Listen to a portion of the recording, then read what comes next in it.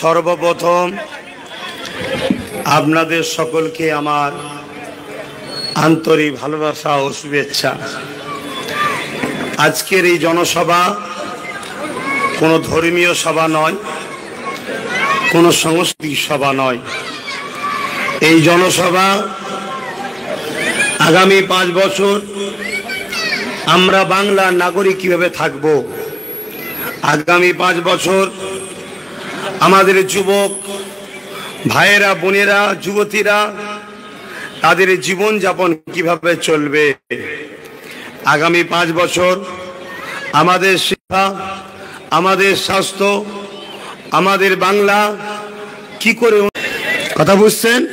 অতএব বীজ ফেলার জমিটাই ঘেটে দাও, দেখব বীজ ফেলার জমি থাকবে না, চাষও হবে না।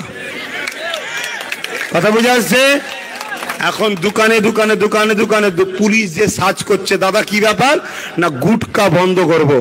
তা আমার মনে হয় প্রশাসনকে দোকানে দোকানে গিয়ে গুটকা বন্ধ না করে গুটকার যে ফ্যাক্টরি ফ্যাক্টরি তালা মেরে দিলি তো মিটে যায়। অতএব পাড়ায় পাড়ায় গিয়ে না বললে তো হয় যে বিজেপিকে রুখতে হবে, বিজেপিকে রুখতে হবে। এটা পাড়ায় পাড়ায় না বলে যে ফ্যাক্টরি থেকে বিজেপি তৈরি হচ্ছে, ওই টিএমসির কারখানাটায় তালা মেরে দিলেই তো বিজেপি বন্ধ হয়ে যাবে। যতগুলো আছে বলুন, সব টিএমসির কারখানা না কারখানা নয়। বলুন বলুন, সব টিএমসি থেকে বেরিয়েছে তো নাকি? তাহলে আপনারা যদি একটু যদি ব্রেন দিমাগ থাকে, তাহলে পরিবর্তন হন। দশ হাজার টাকা দেবে, বিশ হাজার টাকা দেবে ট্যাব দেবে, মোবাইল দেবে। দিদি আবার বলছে, উচ্চ মাধ্যমিক পাস করলে ছেলে মেয়েদের দশ লাখ করে টাকা দেবো, ঘোড়ার ডিম দেবে। কিচ্ছু দেবে না। দশ লাখ টাকা দেবে বলে দশ লাখ করে চাকরি দিয়ে বলেছিল, দিয়েছে। এই সব ভব দিয়ে যে কোনোভাবে আবার আসবে। এবারে যদি দিদি বা মোদি কেউ আসে, মনে রেখে দিও, ক্যাম্পে যেতে হবে, এটা তৈরি থেকে লিও। অতএব এইটাকে রুখতে একমাত্র পারে সংযুক্ত মর্চা।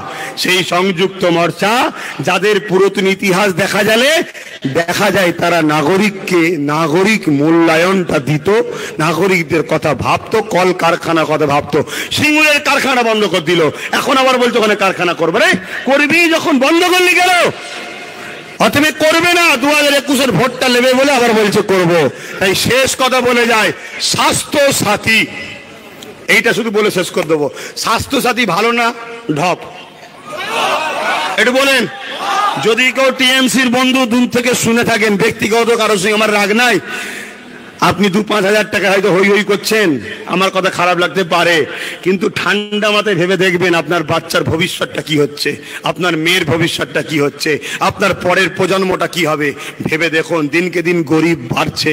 তাই পাঁচ টাকার ডিম ভাত খাওয়াতে হচ্ছে দিদিকে। মানে এত গরিব যে কিনে খাবার মতো আর অবস্থা নেই। কেন? আপনি ডিম ভাত দেবেন কেন? আপনি চাকরি দেবেন, কারবার দেবেন। আমি ডিম খাব কি কি মাছ খাব সেটা আমি আমার মতো কিনে খাব। তুমি ঠিক সেভ করে দেবার কে? এই যে হয় প্ল্যান চলছে, এগুলোতে ভাবুন, শত শেষ কথা বলে যাচ্ছি স্বাস্থ্য সাথী স্বাস্থ্য সাথী কার্ডটাই কি বলেছে? দশ কোটি লোককে পাঁচ লক্ষ কোটি টাকা দেবো। মেটিয়াপুরি যে কারও পাঁচ লাখ ভিক্ষার দরকার আছে? এই, কেউ গরিব আছে? দশ কোটির মধ্যে মেটিয়াপুরি পড়ছে না পড়ে নেই পড়ছে না পড়ে নেই তাহলে সেই জায়গায় এ কথা বলছে কেন? শোনেন, স্বাস্থ্যসাথীর নামে যে ডকুমেন্টসটা লিখছে, ওই ডকুমেন্টসটা আমার মনে হচ্ছে এনআরসি করার আগে যে পরিচয়পত্র লাগবে না এনপিআর ওই এনপিআর এর কাজটা মমতা গুছিয়ে দিল। শুনে রেখে দাও। এটা ভাইজান বলছি, তোমাদের অন্তরের মধ্যে আমি জড়িয়ে আছি, মনে রেখে দিও। যাই করো, নাই করো, একটা বার হলে বালিশে মাথা দিয়ে আজকে কথাটা চিন্তা করে লিও আর মা বোনেদের বুঝিও। যদি বাঁচতে চাও, আমার কথাটা মেনে নিয়ে আমার এই ভাইকে নুরুজ্জামানকে জিতাও। মেটিয়াপুজোর কোনো সমস্যা হলে ভাইজান দায়িত্ব নিচ্ছে, পাশে আসবে। কথা বুঝে আসছে? আমি দশ কোটি থেকে সাড়ে ন কোটি বাদ দিলাম। মাত্র পঞ্চাশ লাখ লোক নিলাম। পঞ্চাশ লাখ লোককে মাত্র দু লাখ করে টাকা দেবো। তাহলে কত হচ্ছে ভাই? এক লক্ষ কোটি। এক লক্ষ কোটি। আমি সাড়ে ন কোটি বাদ দিচ্ছি, দশ হাজার কোটি লোবো না। এই দশ দশ কোটি থেকে সাড়ে ন কোটি বাদ দিচ্ছি। মাত্র পঞ্চাশ লাখকে, পাঁচ লাখের জায়গায় দু লাখ নিলে হলে এক লক্ষ কোটি। আর দশ কোটিকে দেবে বলে হচ্ছে বাজেট করেছে দশ হাজার কোটি। সাড়ে আট রাউন্ড দশ হাজার কোটি। নশো কোটি, নব্বই হাজার কোটি এখনও কম। যদি পঞ্চাশ লাখ লোককে দেবে বলে তাও পাঁচ লাখ নয়, দু লাখ করে। তাহলে দশ কোটি লোককে পাঁচ লাখ করে দিলে কত কোটি টাকা হচ্ছে? কিছু কম, বেশি। দু, তিন হাজার লক্ষ কোটি টাকা কম হবে। তাহলে দশ হাজার কোটি টাকা নিয়ে কি করে দশ কোটি লোককে পাঁচ লাখ করে দেয়? এর চেয়ে বড় মিথ্যা, এর চেয়ে বড় ঢাপবাজি, এর চেয়ে বড় ধোকাবাজি। মমতার আর কি থাকতে পারে? যে আমার বাংলাকে নাটক করে, যে বাংলার গরিবদের নিয়ে খেলা করে, বাংলার যুবককে নিয়ে নাটক করে এই মমতাকে আমাদের জবাব দেওয়া দরকার আছে নাহলে শত শেষ কথা। বলছে পায়ে লেগেছে পায়ে। পা মেলে দিয়ে বসে আছে। ওটাও ঢাপ ডান তুলছে এক বড় মুখ ঢাকায় নেম মানে লাগা থাকলে তো এই হাত যদি এতে লাগে, কষ্ট হবে না হবে না। কিন্তু এই পা তুলছে সোশ্যাল মিডিয়ায় দেখেন, কিচ্ছু হয়নি। শেষ কথা, আমাকে বিপদে ফেলার জন্য কিছু মানুষ আমার ওয়াচকে কাটিং কাটিং করে বাজারে ছড়াচ্ছে, শুধুমাত্র মানুষের নজরে খারাপ করার জন্যে। তাই বলব কোনো কথাই কান দেবেন না। সুস্থ থাকুন, ভালো থাকুন। আমি আমি সকলকে আশা রাখব ভাইজানের হাতকে শক্ত করবেন, বাংলার ভবিষ্যৎ করবেন এখনও বক্তব্য আছে তো নাকি? বক্তব্য দেবে, আপনারা উঠে যাবেন না। আজান হচ্ছে?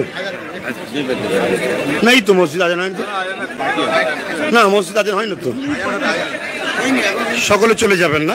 এটা একটু কি কি কি। ওই তো বললাম আমার আজকে কাটিং করে কাটিং করে মিথ্যা একটা প্রচার চলছে।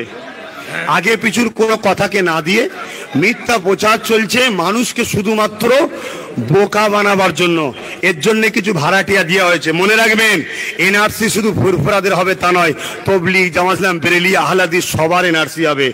অতএব কে কি করেন না করেন সব নিজেদের মধ্যে থাক। এই জায়গায় আমাদের নিজেদের ভবিষ্যৎকে বাঁচাবার জন্য জাতি, ধর্ম, বর্ণ নির্বিশেষে সবাইকে এক হবার জন্য আহ্বান করলাম।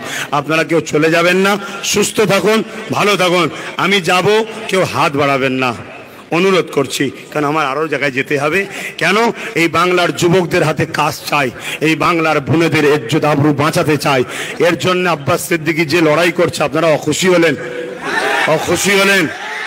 বাস ভালো থাকেন সুস্থ থাকেন। এখন আজান দেয় নাই তুমি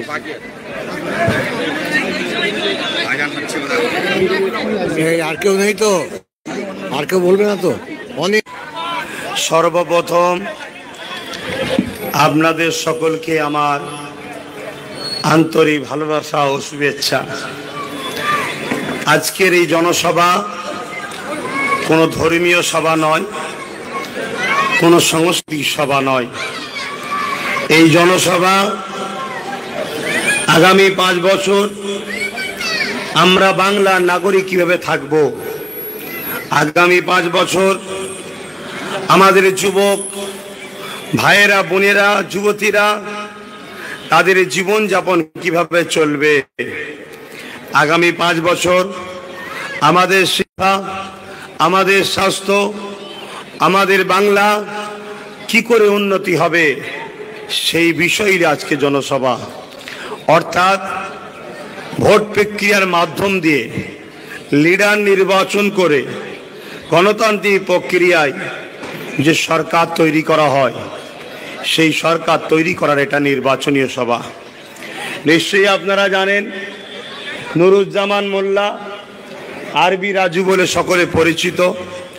খাম চিহ্নে আপনাদের মিয়াপুরে যে দাঁড়িয়েছেন। এখানে বিগত দশ বছর ধরে আব্দুল খালেক মোল্লা বলে একজন দাঁড়িয়েছিল বা দাঁড়িয়েছে আরও এক্স ওয়াই জেড দাঁড়িয়েছে। আমি কয়েকটা কথা শুধু আপনাদের কাছে জানব। কেন সবটাই স্বাধীনতার ব্যাপার। যার যাকে ভালো লাগে তাকে ভোট দেবে। আমি কেন আজকে এখানে দাঁড়ালাম? আমাকে কম বেশি আপনারা চেনেন, কোন পরিবারের ছেলে তাও জানেন, কেন আসলাম? প্রথমে ছোট করে বলি, আমি একটা অরাজনৈতিক সংগঠন চালাতাম। সেই সংগঠন দ্বারা মানুষের সেবা করতাম শীত বস্ত্র বিতরণ দিতাম ম্যারিড স্কলারশিপ দিতাম। আমফানের সময়েতে বিভিন্ন জায়গায় আমি তেরপোল খাবার টাবার দিতে গেছি যেখানে আমি ডাইরেক্ট ছিলাম, সেখানে কেউ ডিস্টার্ব করতে পারেনি। কিন্তু কিছু ছেলেদের হাতে যখন বিভিন্ন জায়গায় পাঠাতাম, অনেক জায়গা থেকে রিপোর্ট এসছে। তাদেরকে টিএমসির ওই এলাকায় কিছু দুষ্কৃতীরা মেরে ধরে ওই তেরকোল খাবার টাবারগুলো কেড়ে নিয়েছে। নিয়ে বলছে, তোরা কেন দিবি? আমরা দেবো। তারপরে করোনার সময় আসলো। মানুষ বিভ্রান্তির মধ্যে পড়ে গেল। পেরেশান হয়ে যে কাজ, কারবার সব বন্ধ। যাদের আছে তারা তবুও ভাঙিয়ে ভুঙিয়ে খাচ্ছে। কিন্তু গরিব মানুষদের জন্য কয়েক লক্ষ মানুষের মুখে খাবার দিয়েছিলাম। তার মধ্যে বিভিন্ন জায়গাতে চাল থেকে শুরু করে আলু, পেঁয়াজ থেকে শুরু করে কিছু গ্রামে তুলাবাজ, দুষ্কৃতি গুন্ডার লোকেরা, টিএমসির মাদতের লোকেরা তারা কেনে নিল। উপরন্ত আমার ছেলেগুলোকে মারধর করল। তাদের বক্তব্য হচ্ছে, আমরাই শুধু করব। তারপরে দেখলাম, চুচুড়ার মসজিদ, চুচুড়ার মাদ্রাসায় টিএমসি সরকার তালা মেরে দিল। তারপরে দেখলাম, একটার পর একটা মিথ্যা কেসে হাজার হাজার ছেলেকে গেঁজার কেস দিয়ে জেলে ভরতে লাগল। ওদিকে তরোয়াল তুলে বিজেপি বলছে, মারবো, ঘাড়ে লাথি মেরে বার করে দেবো এইভাবে যখন স্লোগান দিচ্ছে, এদিকে দেখলাম দিদিমণি বলছে, চিন্তা নেই, আমি আছি, চলে আসো। আমরা ভালোবাসায় ছুটে ছুটে দিদিমণির কাছে গেলাম। দিদিমণি বড় বড় গোডাউনের মধ্যে ঢুকিয়ে দিয়ে তালা মেরে দিল। একদিন যাই, দুদিন যাই, দিদি খিদে লেগেছে। এক বছর যাই, দু বছর যাই, দিদি খিদে লেগেছে। ও মারতে এসেছিল তরোয়াল দিয়ে। আরে মিথ্যা গেদার কেস দিয়ে সাত আট বছর ধরে মুসলিম যুবকগুলোকে জেলের মধ্যে ফেলে ফেলে ফেলে ফেলে মারছে। আমি অরাজনীতি সংগঠনের মধ্য দিয়ে পাঁচ থেকে সাড়ে পাঁচ হাজার যুবককে জামিন করিয়েছি। কিন্তু দেখলাম এভাবে কখনো গুড়া তোলা যায় না। গুড়া তুলতে হবে। গুড়া তুলতে গেলে যে পাওয়ার দিয়ে ওরা এই জুলুম করছে, ওই পাওয়ার আমাকে দখল করতে হবে। তাই ইন্ডিয়ান সেকুলার ফ্রন্ট আইএসএফ এই দলটাকে আমি তৈরি করেছি। এটাই হচ্ছে আমার মূল মকসাদ। আমার লক্ষ্য হলো সংবিধান আমাকে যে অধিকার দিচ্ছে, অধিকার দিতে হবে।